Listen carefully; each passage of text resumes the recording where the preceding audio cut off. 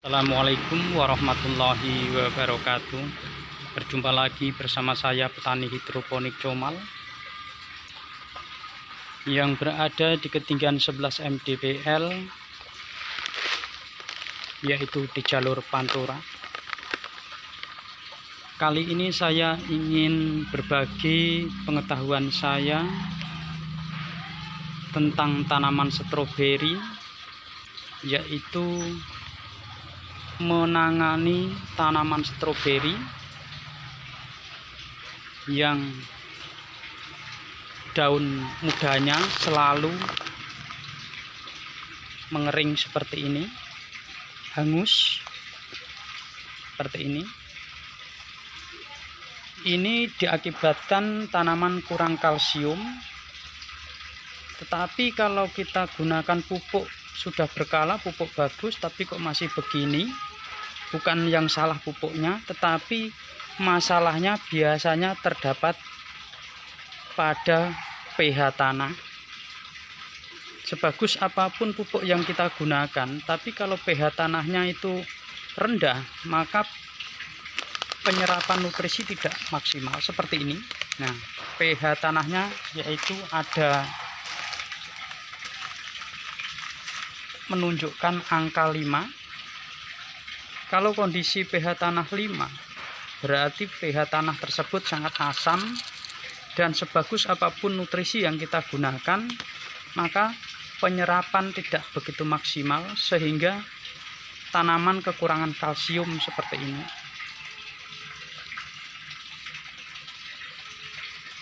Ya, terlihat. Bagaimana cara menanganinya? Kalau kita ingin menangani lebih cepat, kita gunakan kalsium nitrat. Contohnya seperti ini. Ya. Ini kalsium nitrat kemarin baru saya beli karena ini kemarin saya kehabisan hampir dua minggu tanaman tidak saya siram biasanya saya seminggu sekali saya siram untuk mengantisipasi pH tanah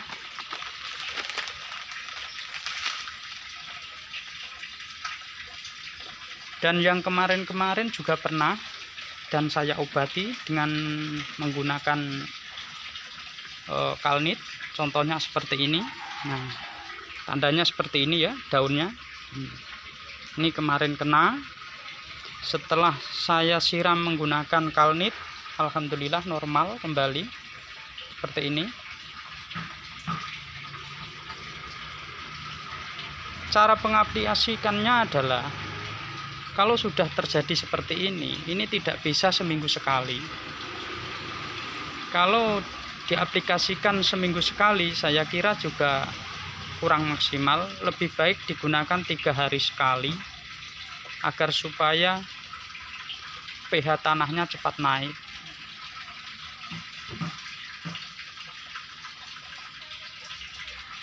Ini ciri-cirinya ya sudah paham? Nah ini kemarin juga sudah saya siram dengan kalnit Alhamdulillah normal. Ini juga pernah.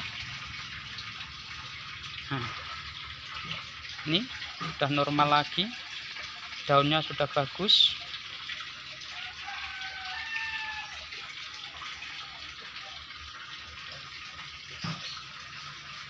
manfaat kalnit sebenarnya tidak hanya untuk memperbaiki pH tanah karena tanaman itu membutuhkan kalsium. Manfaat kalsium buat tanaman yaitu memperbaiki kualitas buah dan juga menjaga sehatnya tanaman. Tanaman kalau kebutuhan kalsiumnya tercukupi maka tanaman tersebut akan sehat dan tidak mudah terserang penyakit dan kekebalan batang kekebalan daun. Dia lebih tahan terhadap penyakit dan tidak mudah terserang penyakit.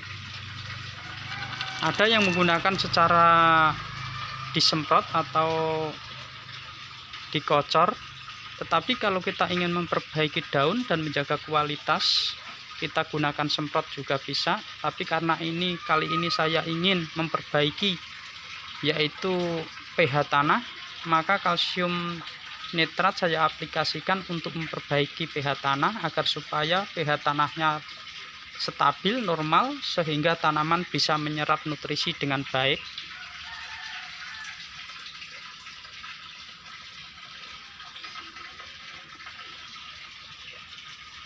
Ini dataran rendah tapi ingat ketika tanaman sudah mulai berbunga kurangi penyemprotan ya jangan kurangin. Kalau bisa jangan ada lagi aktivitas penyemprotan. Karena kalau tanaman sudah berbunga kita melakukan penyemprotan itu akan mengakibatkan kegagalan pada penyerbukan dan bisa bisa menjadi kegagalan pembuahan. Maka dari itu untuk menanam kita perawatan maksimal yaitu di masa-masa vegetatif yaitu masa pertumbuhan. Usahakan masa-masa pertumbuhan tanaman itu kuat sehat maka akan menghasilkan buah yang berkualitas. Berikut cara meracik kalnitnya berikut cara melarutkan kalnit atau kalsium nitrat. Pertama siapkan timbangan. Biasa TDS untuk mengetahui berapa ppm yang harus kita gunakan. Ini air 10 liter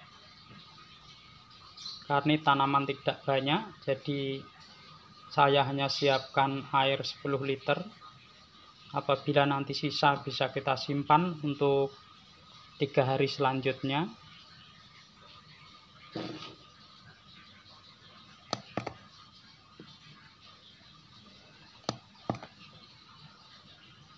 Biar nol dulu kita masukkan takaran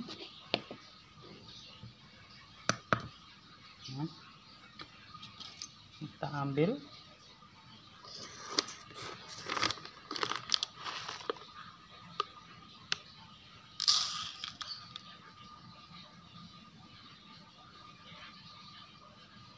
Dua puluh gram.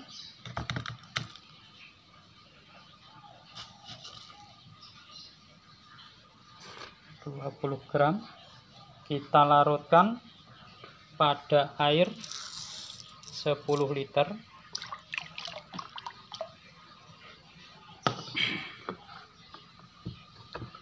Karena ini mudah larut pada air kita aduk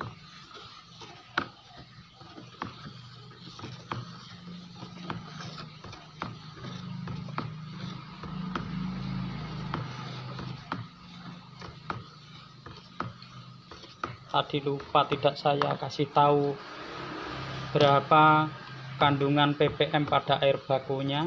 Tapi tidak apa-apa ini air baku kurang dari 100 ppm karena saya menampung air hujan saya gunakan untuk seperti ini.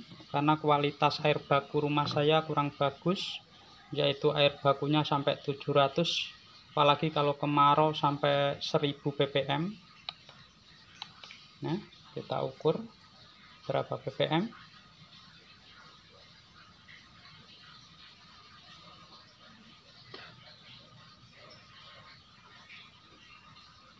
Rupanya 500 hampir 600 ppm, tapi dikurangi air baku sekitar 500-an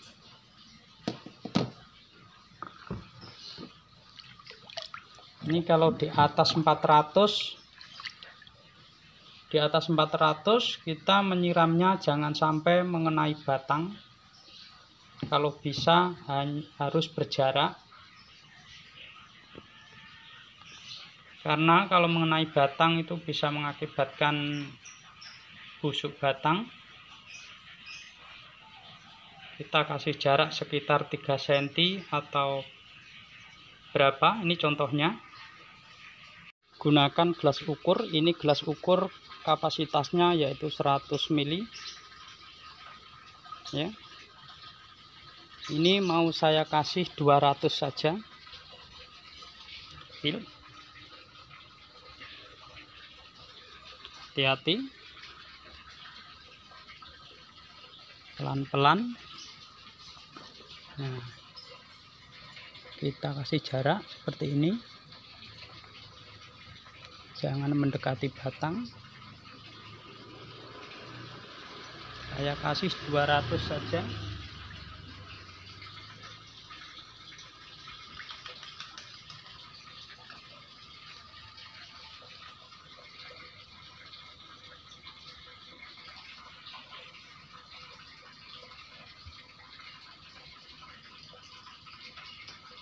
agar kebutuhan kalsiumnya tercukupi dan penyerapan nutrisi tanaman kembali pulih lagi.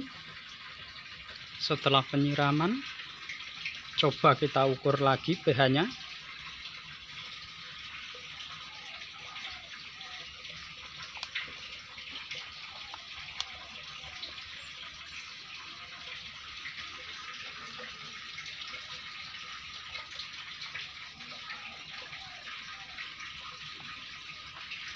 ya. pH nya sudah normal.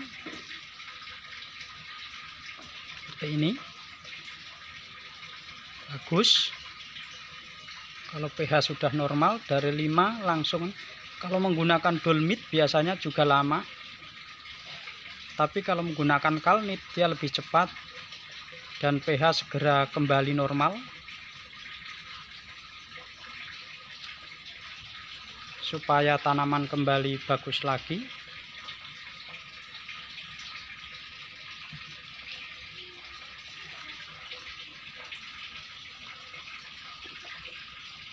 Dan dia bagus perkembangannya seperti ini. Kalau tanaman begini terus nih juga nanti berdampak lambatnya pembuahan. Kalau kita mau membuahkan tapi tanaman terserang seperti ini maka pembuahan selalu mundur. Maka dari itu terkadang kita harus memahami betul tanaman kita dan lakukan untuk tanaman-tanaman yang mengalami masalah seperti ini seperti tadi yang saya lakukan. Semoga berhasil dan sukses. Dan tanaman stroberinya pada bagus-bagus sehat-sehat dan menghasilkan hasil yang sangat memuaskan. Dan ini saya ajak jalan-jalan sedikit.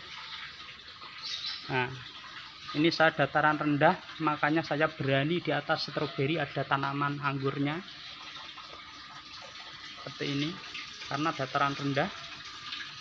Kalau dataran tinggi mungkin tidak bagus tapi kalau dataran rendah bagus. Karena apa? Untuk mengurangi sedikit sinar matahari yang penting sinar matahari pagi itu dia dapat seperti ini. Dan ini kemarin baru saya buat lagi. Ya ini baru pindah tanam kemarin. Biasa yang saya share di Facebook hidroponik comal dan untuk cara pembuatan terkadang orang tanya kok bisa ya mas berdiri di atas peralon sebenarnya juga seperti sudah saya bahas di video-video kemarin. Di atas peralon saya kasih rank seperti ini. Jadi ya terlihat. Ini polybag yaitu ukuran 25 kali 25 kok itu ada bayarnya itulah cara saya bagaimana mengolah tanah. Sebelum tanah saya gunakan untuk menanam stroberi maka tanah tersebut saya fermentasi terlebih dahulu lalu saya tanamin tanaman sayuran bayam atau apa biar diurai kegumpalan tanahnya. Jadi tanahnya nanti bagus bisa hancur. Setelah itu kita olah lagi prosesnya dan baru kita gunakan untuk menanam seperti ini nah seperti ini. Hmm. ya. Ngereng, kita tempelin. Supaya kita ukur perataannya.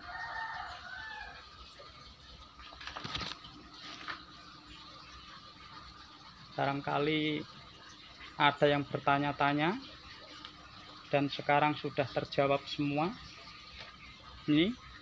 Nah ini media-media yang sengaja saya fermentasi dengan sistem seperti ini. Saya tanamin dulu biar medianya lebih lentur dan bagus. Hingga tanaman akan subur ya. Medianya seperti ini. Bagus sekali. Hmm.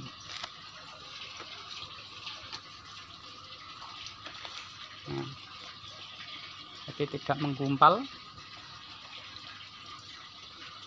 jangan sampai walaupun sistem seperti saya jangan sampai ini banyak atau terlalu lembab karena kalau terlalu lembab itu bahaya juga buat eh, tanaman yaitu tadi berakibat menurunnya pH seperti ini